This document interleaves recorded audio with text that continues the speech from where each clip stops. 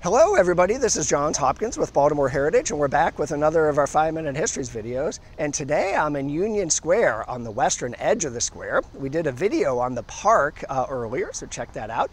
But today we're going to focus just on the school building, the Steuart Hill Academic Academy, or rather the former Steuart Hill Academic Academy. The school system closed the school earlier this year. A number of families protested against that closure and now a number of families and neighbors are trying to work with the school system to make sure whatever new use goes in will be an asset to the neighborhood, just like the school was. We thought we would join that conversation in our history way by talking about uh, the building. Let's jump in with the name, Steuart Hill. Steuart spelled S-T-E-U-A-R-T, kind of unusual. Where did that come from? Well, it comes from a, a man named George Hume Steuart. Uh, Steuart was a general, I think he commanded Maryland's militia during the Mexican-American War, and he built a wonderful summer house hill here, uh, near here, uh, on a hill. He called it uh, Maryland Hall. Everybody else called it Steuart Hill, and that name stuck. The building was raised in the 1880s. It's where Bon Secours is now, but the name uh, for this part of the city stuck as Steuart Hill. As an aside, by the time the Civil War came around, Steuart was too old to fight, but he was a very outspoken pro-Confederate uh, uh, spokesperson. His son was not too old to fight. He had gone to West Point, uh, but when the war broke out, he left the uh, Union Army and went and joined up with Robert E. Lee, and in fact was present at uh, Lee's surrender at Appomattox. Now, I couldn't figure out when this school was dedicated in the 1960s, and we'll get to the school, whether it was for the Steuart family members or just in general, because this is what the, the name of this part of the city was called. But regardless, that's where Steuart comes from. Um, all right, that's the name. What about the building? Well, the building sits on a site where another historic house uh, was demolished. This one was called Willow Brook, and it was the summer home of Baltimore's second mayor, Thorowgood Smith. He built it in 1799 and it was fantastic. In fact, its oval salon was probably the best example of its type anywhere in the country. Um, Smith only had the house for a couple years. In the early 1800s, America was kind of at a quasi war with France, and uh, the French were seizing American ships, including Smith's, and he basically had to declare bankruptcy. In 1803, he sold the uh, house and the property to a gentleman named John Donnell. Now, in the, 19, in the 1840s, the Donnell family gave over a couple acres uh, of what would then become Union Square Park.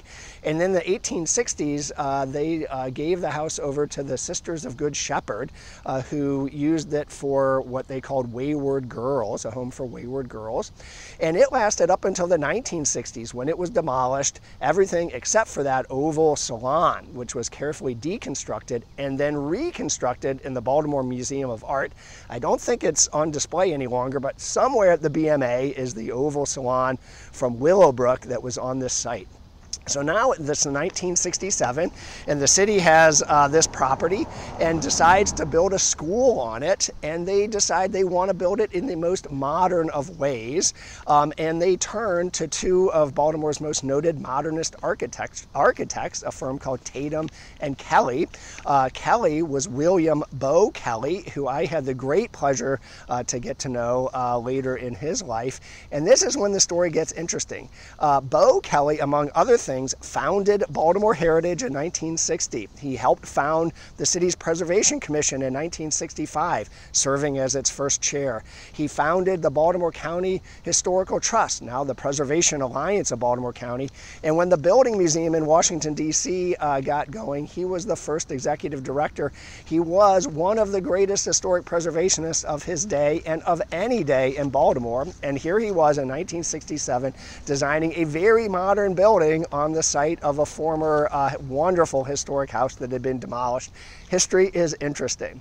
Um, but Tatum and Kelly took their jobs seriously. They spent two years studying this new philosophy that was sweeping through uh, the United States uh, that we would call school without walls. Uh, back then it was called the open education philosophy. Let's take a tiny detour into that. Uh, the tenets of it were that uh, the uh, school administrators in the 1960s felt that the rigidity of the system was causing students to fall behind.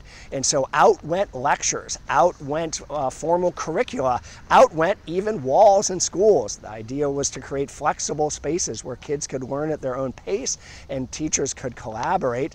It was well intentioned, but the movement did not last very long, as far as I can tell, mostly because because it was noisy without walls. The dozens and dozens of kids in a single room uh, were just created a cacophony that uh, nobody could learn in. Uh, but in 1967 here in Baltimore, we were on the leading edge. And this is what uh, Tatum and Kelly, the architects, said about their school that they were building. And I'll quote, they said, walls and doors were eliminated to stimulate less rigid patterns of teaching and learning, to provide for ease of teachers working and planning together in an ungraded atmosphere and to best utilize the pool uh, and pool the talents of teachers. Wildly lofty for sure. Um, in addition to the indoor space, which did not have hallways and classrooms, it had a couple large flexible spaces. Um, they designed the outside space also uh, to fit this philosophy. They created an amphitheater behind the school to serve as an outdoor classroom, and even the playground back there uh, was meant to be flexible in what it could be used for. The building itself, uh, you'll see it's uh, situated to run along the western edge of the park, uh, kind of mimicking the row houses that run along the edges, the other edges of the park. Uh, but the architects, I think thoughtfully, uh, sort of did a variated roof line to break up the monolithic look of what this big new school building would uh, look like. And uh, in, in many respects, they were successful. The site, at only a little over two acres, was much smaller than the 10 acres that new schools typically got, but they still managed to build a building that uh, housed 850 students. The building over the years got a number of changes, I think including walls um, and operated as a school just until earlier this year. And I'm going to wrap up and uh, invite you to come on down. This is not the most historic looking building on the square. Go around the corner to H.L. Mencken's house for that. Uh, but take a look at it, maybe with an appreciation uh, for what the architects were trying to do and what they in fact were able to realize uh, with this school building that lasted so long. And I'll conclude by saying uh, that we hope that the neighbors and school system are successful in working together to find a new use that uh, keeps this uh, space uh, and makes it, makes it an asset again for the neighborhood. Thanks so much, and we'll see you next time.